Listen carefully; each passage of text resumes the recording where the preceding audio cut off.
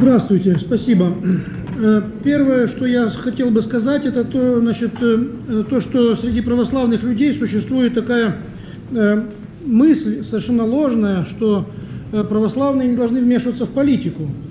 Дескать, это изначальное зло и грязь, и, дескать, там, молись, постись, но и слушай. Да, ради рада. Значит, этого с тебя хватит. На самом деле, если ты не занимаешься политикой в той или иной мере, политика занимается тобою, и это мы чувствуем на себе, поэтому, собственно, для этого мы собрались сюда. Педагогика, значит, медицина, э, целый ряд вопросов, касающихся внутренней политики государства, не могут быть вне поля интереса значит, православной общественности. Значит, действительно, э, уже прозвучало это. Э, наша с вами поведенческая реакция, она, так сказать, реакционно запоздалая. То есть мы реагируем постфактум на внедрение вражеских идей Э, в наш э, политикум и социум. Причем в политикуме они совершаются без нашего прямого участия. Есть сложные механизмы поднятия нашего голоса до тех, кто принимает решения. Поэтому мы всегда с запозданием э, реагируем на те вещи, значит, следовательно, нам необходимо действительно, как предыдущий оратор сказала, перейти к некому стратегическому мышлению, которое должно быть концептуальным, целостным и упреждающим. Ну и я предлагаю, если угодно, Э, вообще уйти от этого закона вообще, но взамен его, его предложить э, нашим законодателям. Кстати говоря, очень странно, что э, Совет Федерации прислушивается к нам, а какие-то злобные вылазки выползают из законодательного органа. Странно, что наши закон... Вообще в любой стране существует некий разрыв между власть имущими и законы пишущими, как бы простым народом.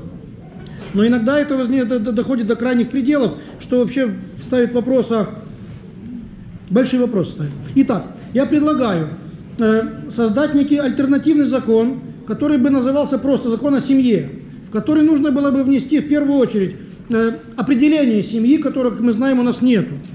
То классическое определение семьи римского историка и э, юриста Модестина, которым он говорит, что это добровольный союз мужчины и женщины, предполагающий равное участие в вещах божественных и человеческих. Так он звучит буквально в переводе с римского языка добровольный союз мужчины и женщины, э, предполагающий их свободное и добро... участие в вещах божественных, одинаковое, и человеческих. Э, такой закон, примерно, недавно был э, при, при, принят в Венгрии, за что, собственно, Орбана таскали за шиворот нехило, и там были всякие там демонстрации и прочее, прочее, но, тем не менее, закон остался. То есть нужно возвращаться к классическим формулировкам, которые даны в римском праве в его христианской акцепции. После этого в этом законе могут быть вопросы, связанные с многодетной семьей, с защитой жизни на ранних стадиях, то есть с антиабортными вопросами, с материнским капиталом, с профилактикой пьянства и наркомании. Там, конечно же, могут быть вопросы, связанные с эксцессами, связанными с насилиями в обе стороны. Кстати, поскольку э, статистика современная говорит о насилии против мужчин, так же, как и против женщин. Есть целые какие-то интернаты для избитых мужчин в Италии, какие-то есть, мне, я, мне это трудно понять, но, но это есть уже. То есть поскольку мы не находимся в неком общеевропейском тренде, вот, то насилие имеет обе стороны.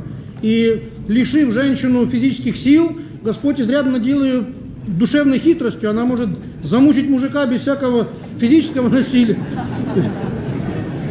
То есть закон, закона, закона да, да, некие законы да, о профилактике семейного насилия да, могут иметь обоюдное хождение в ту, в ту и другую сторону. То есть я предлагаю таким образом православной общественности быть внимательнее к политическим процессам, которые происходят в обществе, реагировать на них доступными законом о прописанными средствами, э, принимать свое посильное участие в обсуждении и э, других формах отстаивания своих иде, своей идеологии, ну и предложить, э, возможно, э, Совету Федерации, не знаю, кто там слушать будет вообще, значит, или там парламенту нашему, э, Госдуме, чтобы они рассмотрели комплексный целостный закон, касающийся семьи вообще, начиная с того, что она есть как мы сказали, добровольный союз мужчины и женщины, чего сегодня э, пытаются из нее испразднить.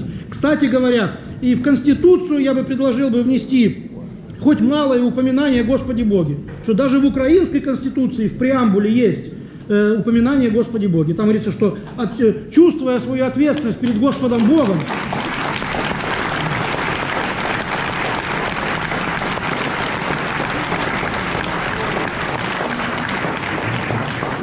Да, то есть при всех безбожных вещах, которые происходят на Украине, значит, э, там есть в преамбуле слова, что чувствуя ответственность свою перед Господом Богом и будущими поколениями, мы такие-то, такие-то, значит, там принимаем то-то и то-то.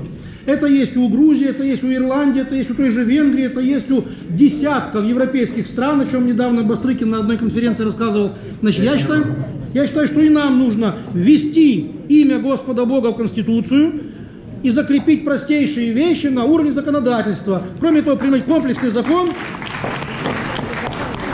и все, что связано с возможным насилием в семье, э, вводить в него как отдельные артикулы, но не как отдельную какую-нибудь такую феминистскую там, или западно-либеральную штуку, которая сегодня нам набрасывается. Спасибо за внимание.